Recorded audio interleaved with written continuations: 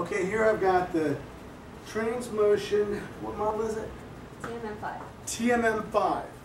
Beautiful stretcher chair, kind of unusual because this one comes with power back.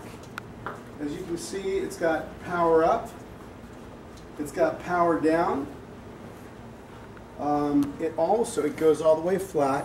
I'm going to keep the video short. It also has uh, tilt. Here's power foot. The nice thing is the arms will pop right up. Comes with a seat belt. Um, there's a leg coming up all the way. As you can tell, it's not plugged in. This one here works off of battery. It's really nice. Can you do you can do a quick surgery, slide your patient in or out. Uh, the height, we're going to go up right now. Actually, we'll go down.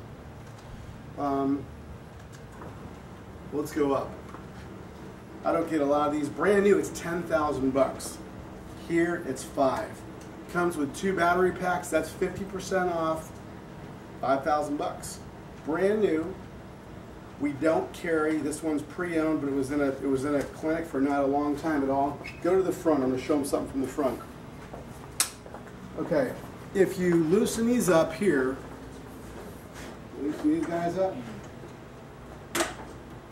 pop out. Now the head comes down, and you can be right around the head to do surgery. There are some little armrests you can pop in here so you can rest your arms doing surgery, but the head is adjustable up or down. It's real nice for plastic surgery. Um, we also have Stryker, Stretcher, Hausmann, but this would be one of your high-end tables. It has a lot more options. It's got a safety belt. Um, so it's full power. Uh, call the Doctor's Toy Store at 877 DRS Toys for all of your stretchers.